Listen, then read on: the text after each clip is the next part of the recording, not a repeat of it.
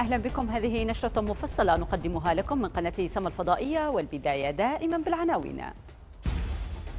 في ظل الانتصارات على مستوى الوطن. تعزز الأمن والاستقرار في المحافظة. إقبال كبير على التسوية في درعا وترجيحات بتمديد فترتها.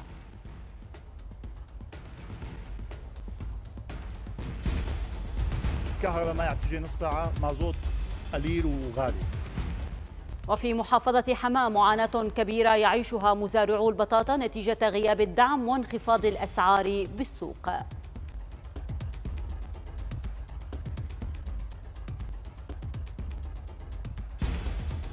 ما من لحي تصريح والله. ريش مقص إلا الدوزان إلا الدواليب على التفكير. في ريف حلب أهالي قرية الشيخ سعيد يعانون من سوء الطرقات بشكل كبير.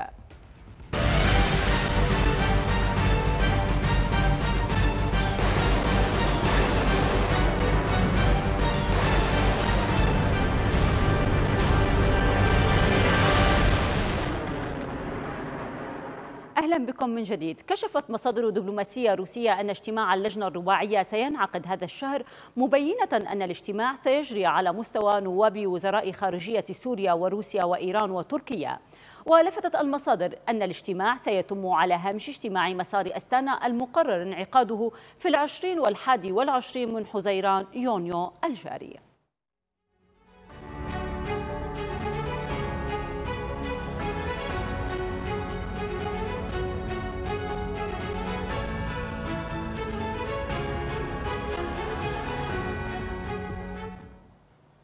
وسط إقبال كبير وترجيحات بتمديد فترتها تواصلت ولليوم الثالث على التوالي عمليات التسوية للراغبين من أبناء محافظة درعا بقصر الحوريات وسط المدينة.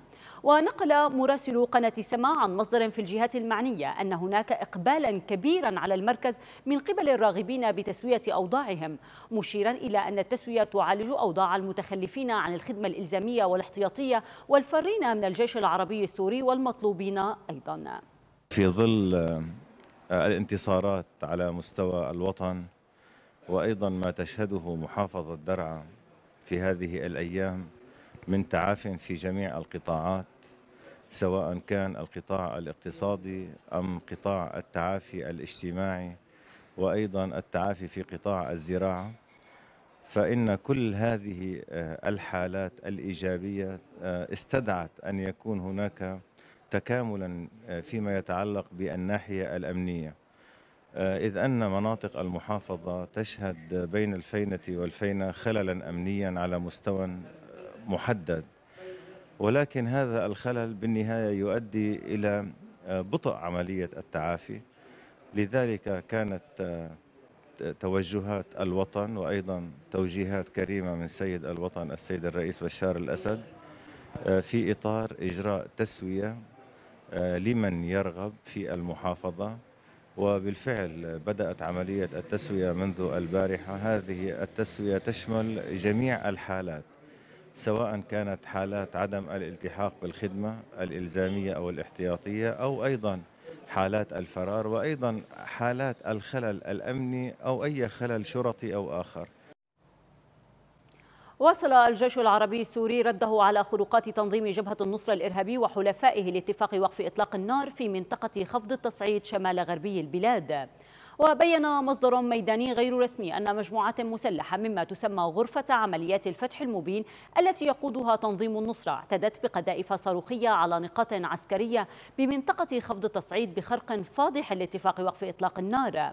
وأوضح المصدر أن وحدات الجيش العاملة بريف حماة الشمالي الغربي استهدفت بالمدفعية الثقيلة مواقع الإرهابيين في محاور التماس بسهل الغاب ولفت إلى أن الاستهدافات تركزت في قرى القاهرة والسرمانية ومحيط قريتي العنكاوي وقليدين وأشار إلى أن الوحدات العسكرية العاملة بريف إدلب دكت بدورها نقاط تمركز الإرهابيين بمدفعيتها الثقيلة في فليفل ومحيط بلدة البارة في جبل الزاوية. تسلم العراق العشرات من مسلحي وعوائل تنظيم داعش الإرهابي من حاملي الجنسية العراقية المحتجزين من جانب ميليشيات قسد في مخيم الهول بمحافظة الحسكة. وأعلنت هذه الميليشيات تسليمها دفعة جديدة من مسلحي داعش مع عائلاتهم للدولة العراقية من حاملي الجنسية العراقية.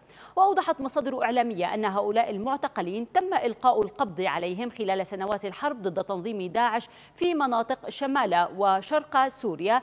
وفي السياق ذاته أعلنت ميليشيات قسد عن نقل 170 فردا من عوائل التنظيم ضمن مخيم الهول إلى الجانب العراقي بالتنسيق مع الحكومة العراقية. أصيب مدني بنيران عناصر دورية تابعة لميليشيا قسد التي داهمت منزله وعمدت على تفتيش محتوياته بالكامل ليتم اعتقاله مع ابنه في قرية الكشكية بريف دير الزور بالمقابل كشفت مصادر خاصة لقناة سما أن الميليشيا تعمل على إزالة 150 منزلا في منطقة الإسكان بمدينة الطبقة في ريف الرقة وذلك بزعم أنها مناطق عشوائية. لكن قسد تريد تحويل الحي إلى منطقة عسكرية نظرا لحساسية موقعها. خرج أهالي بلدة السحارة بريف حلب الغربي وأهالي صوران بريف حلب الشمالي بمظاهرات ضد ممارسات النصرة الإرهابي وزعيمها الجولاني. كذلك خرجت مظاهرات في كفرة وأطمة بريف إدلب الشمالي تنديدا بحملة الاعتقالات التي تطال المدنيين دون الكشف عن مصيرهم. وطالب المتظاهرون بخروج النصرة وإيقاف تعدياتها اليومية ومحاولة إرهابييها السيطرة على كل مفاصل الحياة.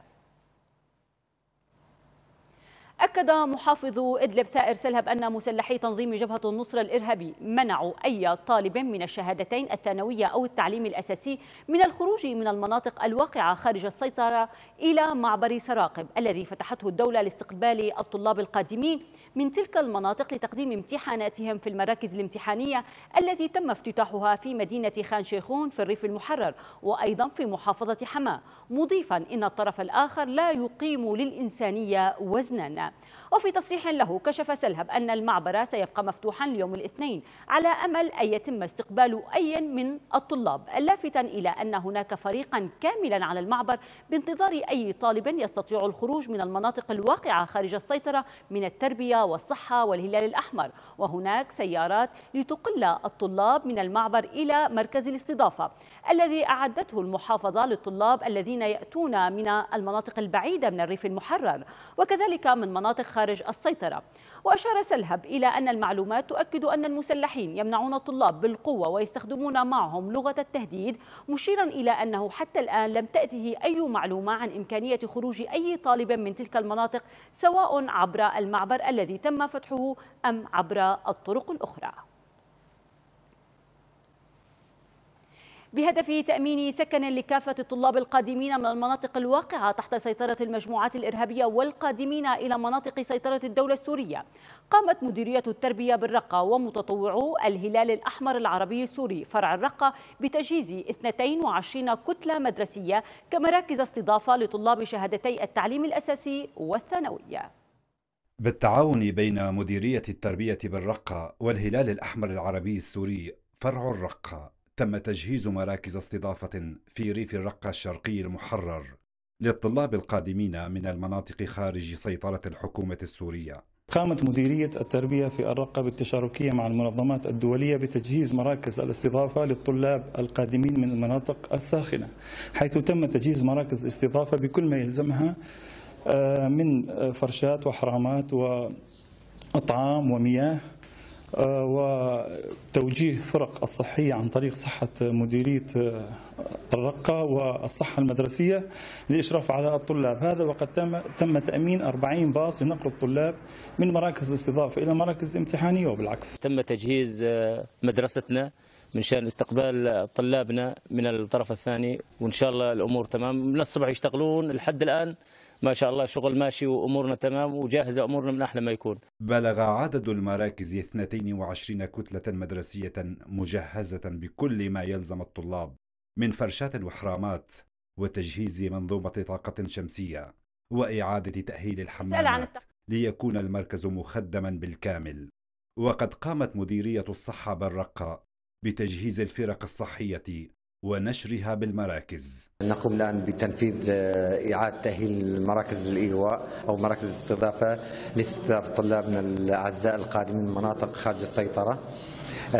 الأعمال اللي عم نشتغل عليها هي الأعمال الكهربائية استبدال طاقات برايز لمبات تبديد شبكة طاقة بالليدات وبطاريات. قمنا بتأهيل مراكز استضافة لطلاب الإعدادية والثانوية وشمل تأهيل مرافق صحية وكهربائية وإكسسوارات أبواب ونوافذ ومشارب وستكون جاهزة على في بداية الامتحانات إن شاء الله. قمنا بتأهيل مراكز تسع مراكز استضافة لاستضافة الطلاب من المناطق الأخرى في شهادة الثانوية والإعدادية لتقديم الامتحانات في منطقتي السبخة ومعدان وشمل تأهيل أعمال كهربائية وتقديم منظومة ليدات مع بطاريات تأهيل المراكز تضمن تأمين 40 باصا لنقل الطلاب أيام الامتحانات من مراكز الاستضافة إلى مراكز تقديم الامتحانات وبالعكس وبذلك تكون المراكز جاهزة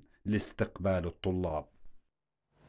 توفي عدد من المواطنين وجرح آخرون نتيجة انقلاب حافلة تقل حوالي 45 راكبا من طلاب شهادتي التعليم الأساسي والثانوي مع ذويهم.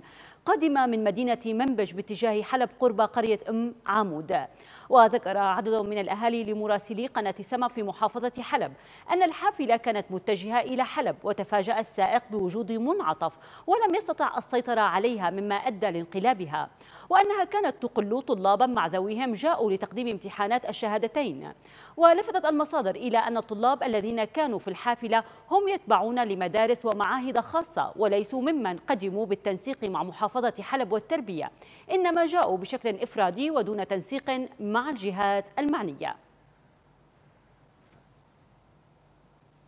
وللمزيد حول الموضوع تنضم إلينا مراسلتنا في محافظة حلب كنانة علوش كنانة بعد التحية بداية ما هو عدد الضحايا فعلياً؟ نعم تحية لكم مشاهدينا متابعينا عبر قناة سماء الفضائية. في الحقيقة بعدما ما نشرت نشرت الأخبار ونشرت عديد من مواقع التواصل الاجتماعي عن عدد الوفيات الحقيقة العدد الصحيح للوفيات هو أربع أشخاص وإصابة 39 آخرين نقلوا إلى مشفى الرازي وإلى مشفى حلب الجمل نعم كنانة كيف لو تحدثينا كيف وقع الحادث؟ نعم.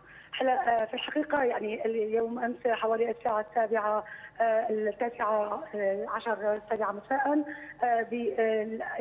مساء سمعنا أخبار عن تدهور طولمان أو باص أو حافلة نقل تقل طلاب من منبج إلى مدينة حلب. ولكن هو الحقيقة هم الطلاب الذين تم نقلهم عبر حافلة خاصة نقلت إلى مدينة حلب. هم من الأشخاص أو من الطلاب كانوا قادمين من منطقة منبج إلى محافظة حلب مع أهاليهم بشكل خاص وبشكل إفرادي. لم ينسقوا مع مديرية التربية ولا محافظة حلب. طبعا الحافلة كانت قدير كما قلت من منبج اتجاه مدينة حلب. الحادث حدث عند قرية إم عمودة. هذه القرية الواقعة ما بين منطقة السيرة وأثيليا طبعا الحدث وقع عند أحد المنعطفات القريبة من معمودة وعلى طريق تم نعم نعم وتم كما قلت نقل 39 جريح وأربع وفيات إلى مشافي حلب. نعم كنانة يعني أنت تؤكدين أنهم جاءوا بشكل إفرادي وليسوا بتنسيق مع المحافظة أو التربية.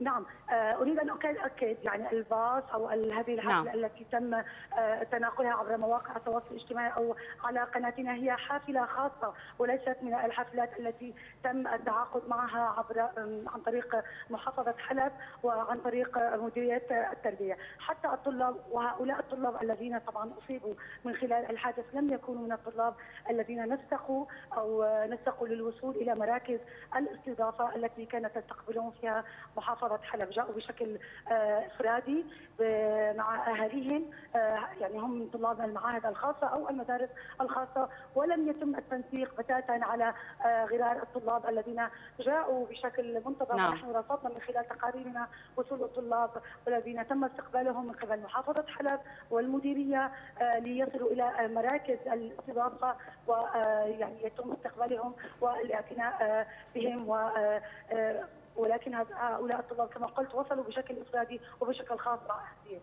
نعم الرحمة للوفيات نتمنى الشفاء العاجل لجميع الجرحى. كنانة علوش مراسلة قناة سما الفضائية في محافظة حلب كل الشكر لك.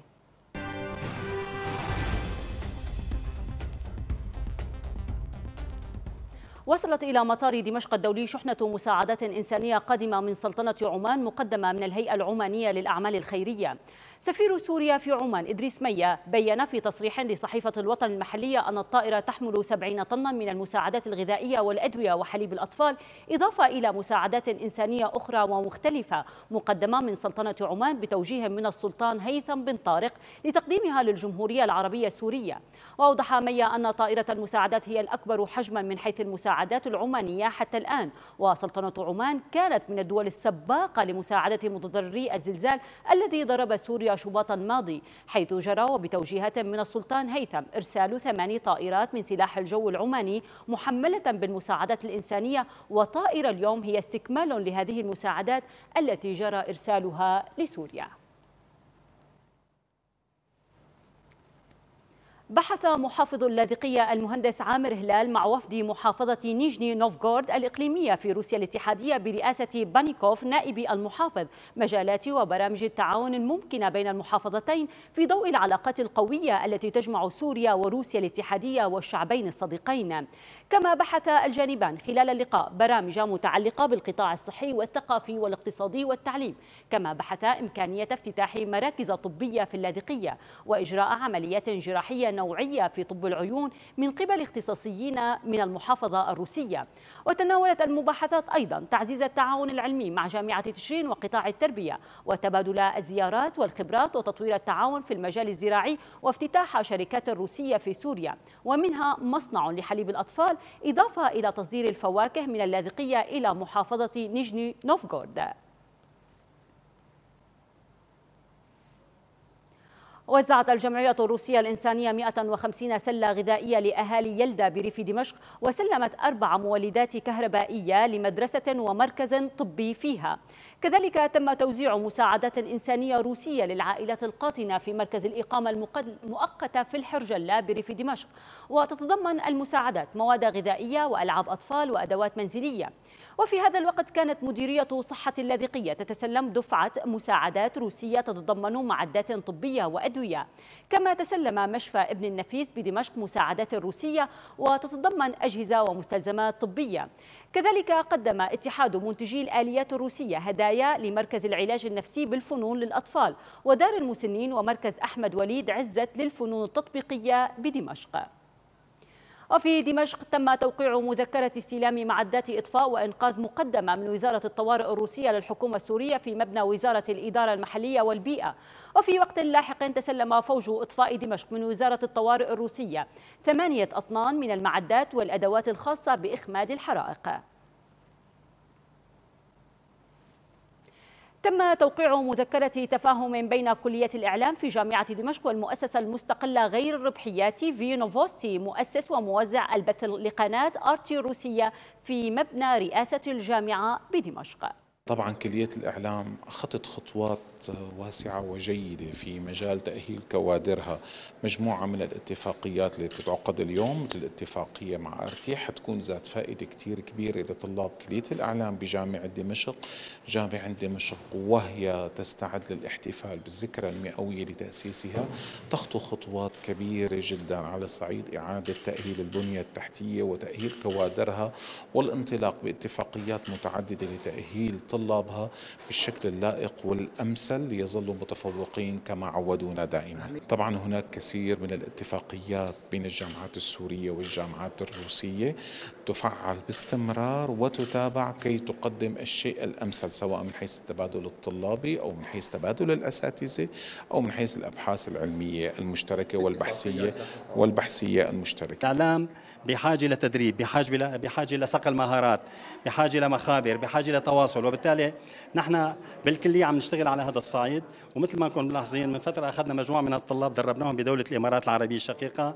الآن نحن وقعنا اتفاقية مع قناة RT. هذه الاتفاقية تنص على تدريب الطلاب من خلال آه، الأونلاين من خلال حضور إعلاميين من ال RT إلى كلية الإعلام من خلال استضافة طلاب من كلية الإعلام في قناة RT بموسكو من خلال تعاون بين أساتذة كلية الإعلام والقائمين على قناة على قناة ال RT ولدينا فكرة جديدة حقيقة نفذناها سابقا مع المؤسسات الإعلامية السورية. راح نستضيف خبراء إعلاميين مهنيين من وكالة من عفوا من آه، من قناة ال RT يحضروا عنا مناقشة مشاريع التخرج. بهذه المناقشات سيحضر إعلاميين من قناة RT وينتقوا أفضل الأعمال أفضل مشاريع التخرج حتى يبدأوا بالعمل مع القناه RT ومكاتب ال RT.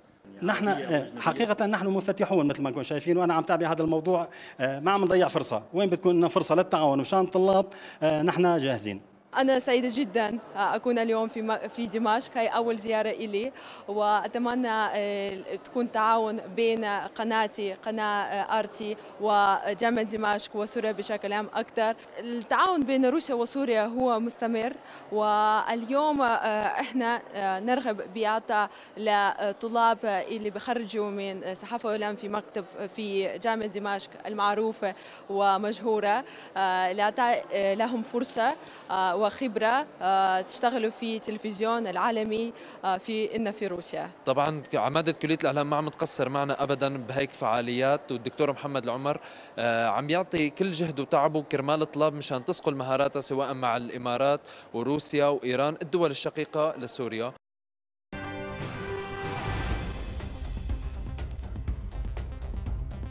تبقى درجات الحرارة حول معدلاتها أو أدنى بقليل مثل هذه الفترة من السنة.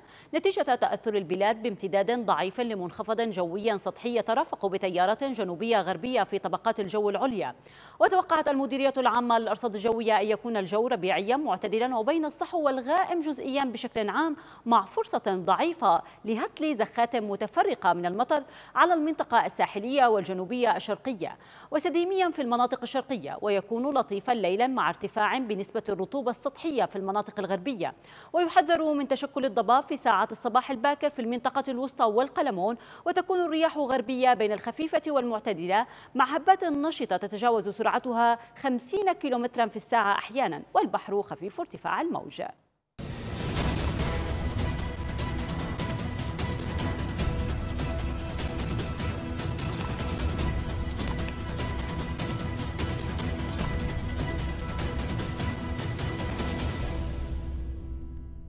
أقر مجلس الشعب مشروع القانون المتضمن تعديل المادة 105 من نظام العاملين في مؤسسة الخطوط الجوية السورية الصادر بالمرسوم التشريعي رقم 35 لعام 1979 وتعديلاته وأصبح قانونا. كما أقر المجلس مشروع القانون المتضمن إحداث صندوق تمويل المشروع الوطني للتحول إلى الري الحديث ليحل محل الصندوق المحدث بالمرسوم التشريعي رقم 91 لعام 2005 وأصبح قانونا.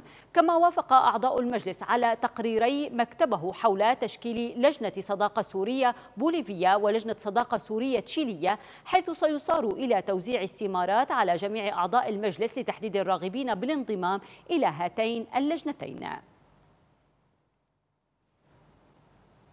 نتيجة غياب الدعم الحكومي واستمرار انقطاع الكهرباء لساعات طويلة اضطر المزارعون بريف حماة لجني محصول البطاطا قبل مرحلة النضوج بالإضافة إلى خسائر كبيرة مادية نتيجة انخفاض أسعارها بالأسواق وارتفاع أسعار الأدوية الزراعية بشكل يومي.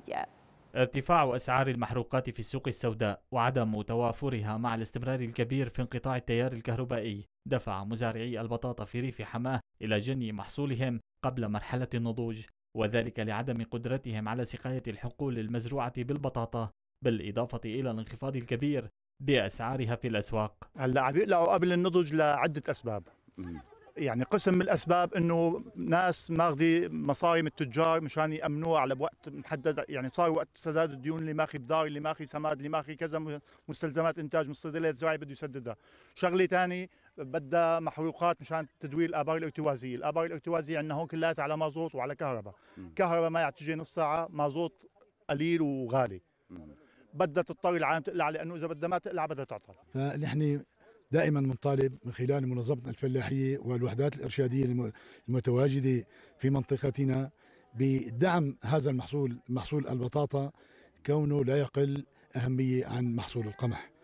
لذلك نحن نطالب الحكومة والدولة من خلالكم وخلال منظماتنا الفلاحية دائما أنه يدعموا هذا المحصول بالمازوت والكهرباء والأسمدة أيضا آه، أخي الكريم هلأ نحن عم نعاني من مشكلة من السنة الماضية إنه ارتفاع سعر الأدوية صار سريع جدا. خلال شهر عم تجينا تسعيرة مرة اثنتين طبعا الأدوية مرخصة ومسجلة تماما. وزاد جوده أضعف. يعني الجوده تبعية الأدوية عم تتراجع من سنة لسنه وارتفاع زائد. هذا الكلام أثر علينا نحن كمبيعات وأثر على المزارع كمستوى إنتاج أعلى. هلأ نحن من طبيعة المراكز الزراعية هي بتدين المزارع. بتمده للموسم. اليوم بتدني إنتاج الموسي المزارع والجوده تبعية الأدوية كمان تدني عطت خسائر للبيع وللشاري نحن بحاله خسارة كبيرة هلأ. معاناة كبيرة يعيشها المزارعون نتيجة غياب الدعم الحكومي وعدم تأمين المحروقات والكهرباء لسقاية المزروعات بالإضافة إلى ارتفاع أسعار الأدوية الزراعية بشكل يومي وهو ما يزيد من خسائر الفلاحين نهاية الموسم. لعدم قدرتهم على إيفاء مستحقات الصيدلية الزراعية. البطاطا تأملنا خير أنه تتصدر. آه، على أساس أنه فتحوا التصدير وهلأ ب 800 900 ومثل ما تفضل الشاب قدامي مازوت ما في مدعوم. آه، كهرباء ربع ساعة. طب يعتبروا البطاطا مثل القمح. القمح وقت اللي كان مثلا وقت سقاية القمح أربع ساعات بالأسبوع مثلا على مرتين ثمان ساعات. يعطونا مرة واحدة كيلو البطاطا بألف والبطاطا والبيضة بألف. يعني البيضة بدك خمس ست بيضات للغداء أما البيض البطاطا كيلو بيأدي العالم كله. والله موسم البطاطا يا أخي تعبان. وغلى المازوت ذبحنا ذبح و... والكهرباء ما عم تجينا يعني شلان البطاطا هي البطاطا شالعناها قبل أوانها. من غلى المازوت ولا الكهرباء. موسم البطاطا الناس عم تقلع البطاطا والناس السنة قلعت البطاطا. قبل موسمها قبل ما تستوي بشكل جيد. ليش؟ لأنه ما في محروقات ما في مازوت للسقايه كهرباء ما عم تجي ربع ساعة ثلث ساعة الكهرباء ما عم تكفي شيء الكهرباء والمحروقات غالية جدا. لذلك العالم أقبلت على قلع البطاطا وبيعها بالسوق. طلبه قدام وقته وبده يخرب هيك. يعني بدل ما يعطيك الدرهم ثلاثة طن عم يعطيك طنين. طنين ونص وأقل. السبب ما في مي ما في كهرباء. ما في مي ما فيك تسقيه يعني. نحن نطلبها خيو الكهرباء يامنون إياها شوي. بالنسبة للأسعار تعبانة كثير يعني عهو المصاريف اللي عليها بالبدار حق الطون ب 9 مليون عندك الأسمدة غالي الأدوية كهرباء ما في بدنا نسقي بدنا هذا يا أخي شو يعني ما في أي دعم. نعم ما في أي دعم نهائيا المازوت غالي. المزارعون يطالبون بتزويدهم بالكهرباء لساعات أطول بدلا من الربع ساعة. التي لا تكفي لسقاية مزروعاتهم ومساواة محصول البطاطا بمحصول القمح. من ناحية الاهتمام الحكومي لا سيما أن البطاطا تعتبر مادة رئيسية على موائد السوريين. فهل سيتم إنقاذ ما تبقى من المحصول قبل فوات الأوان؟ سؤال يطرحه المزارعون على المعنيين بالمحافظة. رغم التنسيق مع المهندس حبيب خليل مدير كهرباء حماة لمعرفة هذه الأسباب التي تضرر من خلالها آه، أهالي محافظة حماة إلا أنه لم يقم بالرد على الهاتف.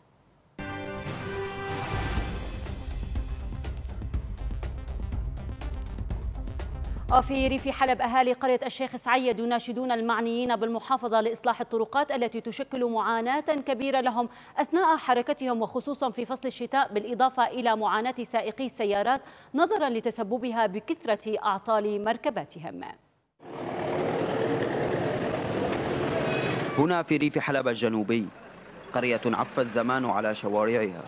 الشيخ سعيد قرية مدمرة طرقاتها منذ سنوات يطلب سائقو مركباتها رأفة بآلياتهم التي ما تنفك تخرج من الصيانة حتى تعود إليها.